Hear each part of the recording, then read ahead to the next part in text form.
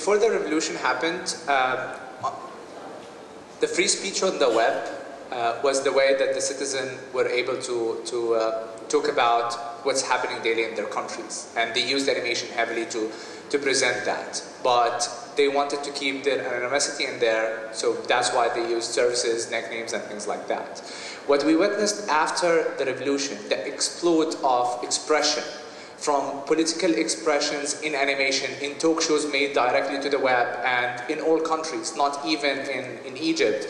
You see it in Egypt, in Tunisia, in Morocco. You see it in Saudi, where to, they're talking about political system, they're talking about what's happening as in the civil society, and etc. etc. You also see it from companies' point of view that they saw the interest from the users that are. Uh, for, what's happening in the region, and they start producing content specifically for uh, users who are looking about the revolution, just talking about what's happening about the leaders, what's happening in the countries, and things like that, addressing each segment. And for the first time we've seen it this year is a, a web show that make it from was produced with a small budget directly to the web and now a, a, TV station actually bought the rights and there it, it, goes continuing it as a, as a TV station and webisodes at the same time. So definitely what happened during the revolution changed the, the order of the game completely and, and animators and producers are now thinking of a huge medium that they can utilize. For, for the new animate, animators that are coming in here, the idea is it's not about producing the high quality 3D type of an effect show. Uh, and at the same time, it's not something that, that's, uh, uh, it's not about the entire, uh, how hard you're going to work on the show. We have a, we have a rule at Google, to either produce things that they're scrappy, or you produce things that are top of the shelf nothing in between. So as an animator, you need to think about that. Your, your, your idea is, is what matters. It's not about how well you're going to present it or how 3D it is, is going to be or things like that.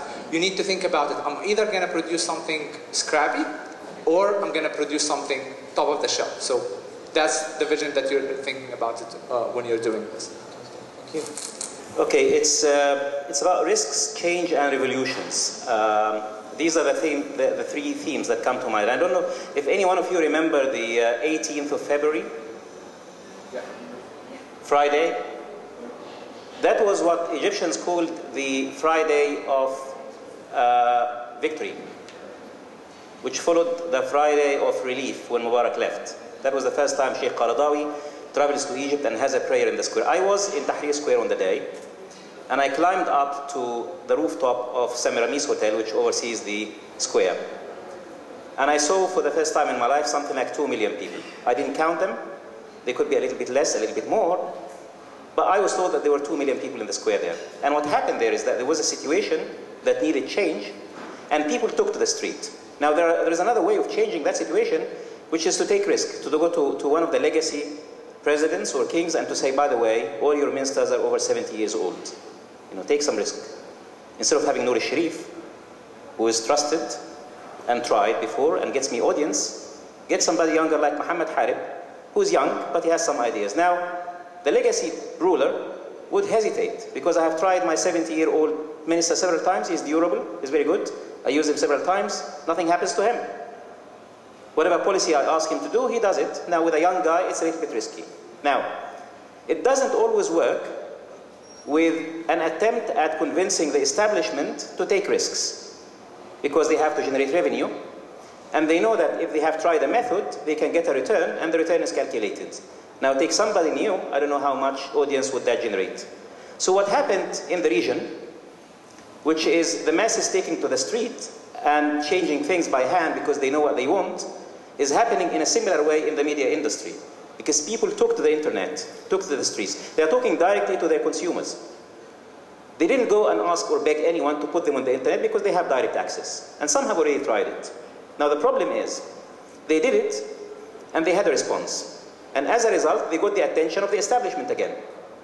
So at the same time, when a couple of people, one of them, I don't know if you have seen him, he did a stand-up comedy to announce his presidential campaign using empty Coke and Pepsi cans as microphones. And he did one of the most hilarious presidential uh, uh, pitches to the nation. And I, I saw this and I said, well, this guy is brilliant. I'm going to contact him. We're going to do a show. I rang him in one of the very small villages of Egypt. And as soon as I told him who I am and what I'm interested in, he said, okay, do you want to talk to my agent?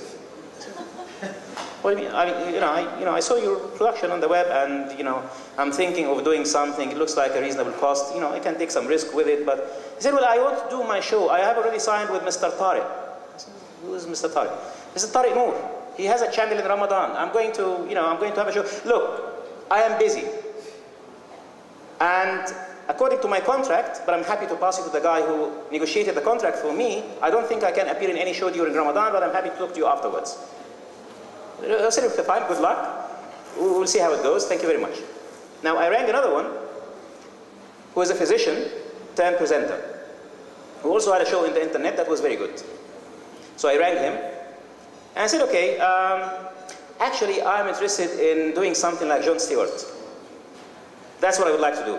So my team now is probably something like six, seven, eight people, but I'd like to expand. You cannot do it really with a, a proper set, proper casting, writers, researchers, lights, camera, action. So, you know, but the way, you know, what you did was really brilliant. You know, I, I don't think you really need more than that. Now, in both cases, I don't think, and you probably know who I'm talking about, I don't think they managed to get the attention that I think their talent deserves when they change platforms. And I don't think there were any ramifications for, for the two shows because they did not understand the limitations of their platform, and the guys who were as interested in them as I was did not understand how they can translate the experience from the internet to TV. So the two lessons from here are, one, do not really wait for the establishment to be convinced of taking risks. It's very difficult. And I was in the TV business before, and there are lots of stakeholders that you have to convince. So go to the streets of the internet, and make sure that you reach as many people as possible. Now, the second lesson is when you manage the experience afterwards, don't behave like the old tycoons. Don't do it exactly the same way. Yeah? Young, energetic, creative has to continue to be that case. You have to manage your talent in a much better way, and you have to see how you can reach the masses in the best possible way. Now, if you find a way, if we find a way, because the dynamics of revenue are very different. And I do agree with Muhammad on some things and I don't agree with the others. You know, I do agree with him that really they are, it's very difficult to convince them.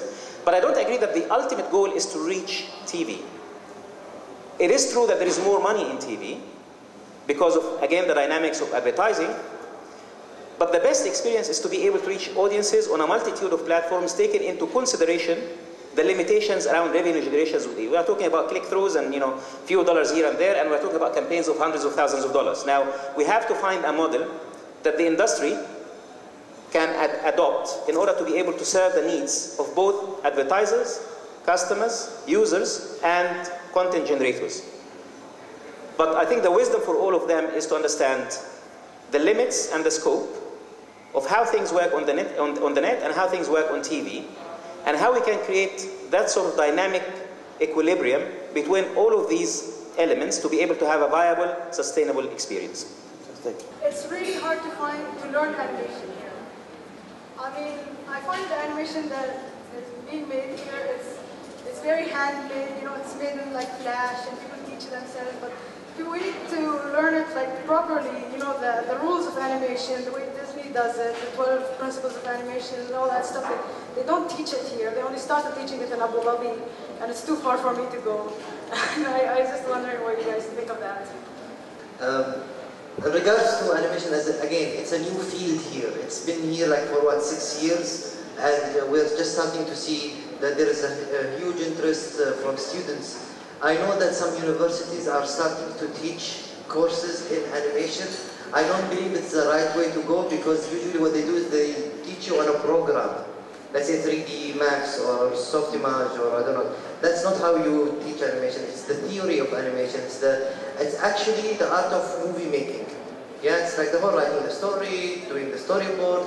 So even if you don't study animation, but you end up studying media, and in that course you have, uh, you know, applied media, you go, you film, you do that, you want to tune your skills to be a director.